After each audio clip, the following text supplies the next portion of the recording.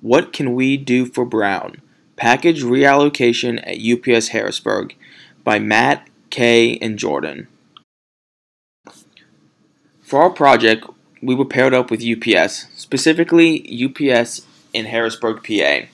UPS is the largest package delivery company in the world, with over 440,000 employees working to deliver over 15 million packages every day in more than 220 countries. This project will focus on relieving package um, capacity at the Harrisburg sort facility because during the winter and holiday months, they currently have too much package volume and cannot sort the packages in a timely manner and get the packages to your doorstep uh, as promised.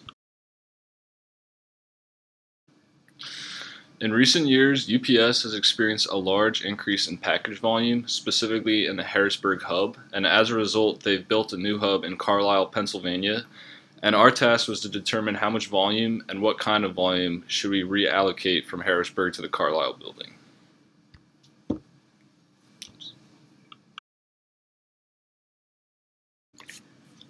This is our process flow map for what it takes to get a package from point A to point B.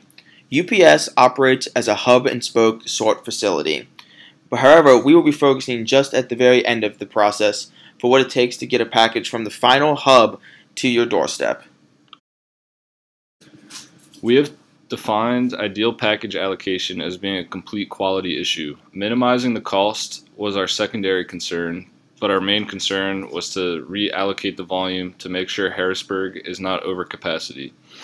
We created an integer program to lend credibility to our results and to help us decide which zip codes ultimately we want to move. And we also made a sensitivity analysis, which will help when UPS experiences future growth. There were some assumptions and constraints that we had to follow while doing this project. The first is only whole zip codes can be moved over. Secondly, if a TDP account moves over, the entire zip code must move. TDP accounts are big trailer accounts that go to businesses in the area on a, on a daily basis. Thirdly, the package volume represents the busiest week in December. If we can handle the heaviest volume during the year, we can handle the other months of the year. And lastly, package workers get paid for 3.5 hours even if they work for less than that.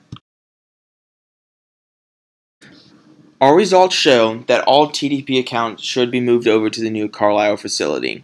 We then took the remaining zip codes that did not have TDP accounts and built an integer program model to see which zip codes should be transferred over. Of the zip codes that are currently serviced by Harrisburg West, all but three are recommended for transfer. As mentioned earlier, we created a integer programming model using Microsoft Excel to lend credibility to our recommendation. The user can input a projected growth rate and also a total volume which indicates the amount of volume that the user wishes to have move, move over to the Carlisle facility. After this, the user simply clicks the Solve button and Excel will spit out the results based on the user's constraints.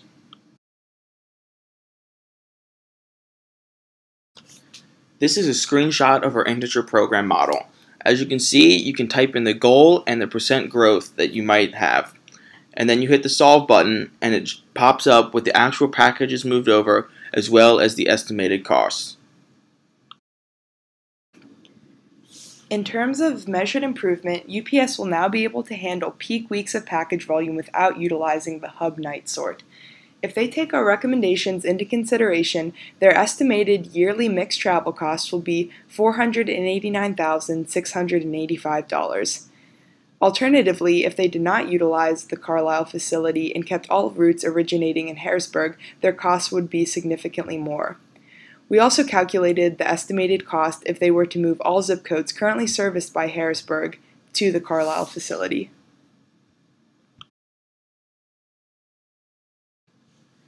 The final layout of the Carlisle Sort Center is currently being finalized, but when it is, they should as soon as possible begin servicing the recommended zip codes to prepare for the upcoming peak week in July. They should also look to keep the Carlisle Center servicing these zip codes year round, not only during peak times. This is mainly due to the several major operational challenges that are associated with having it open part time. These include the rerouting of the zip codes, as well as hiring and firing part time employees for the Carlisle Center. Given the possibility of package volume growth, closing Harrisburg West and operating solely out of the new Carlisle Center in Harrisburg East may be an option. We would like to acknowledge Dr. Bopaya Bidanda, Dr. Daniel Jiang, Mike Carnish, Mike Spies, Kate Coach, Lonnie Wagner, Zach Wise, and Caroline Pontari for their help with this project.